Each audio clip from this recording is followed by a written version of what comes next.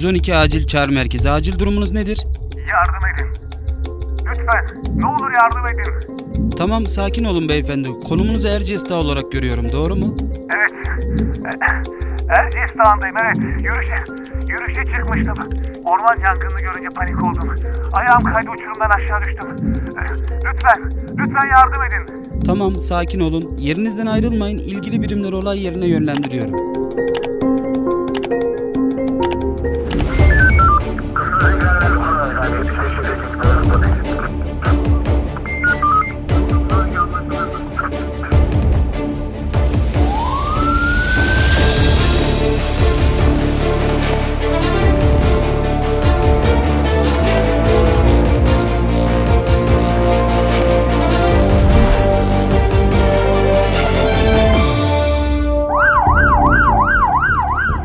Acil durumda 112 tek numara.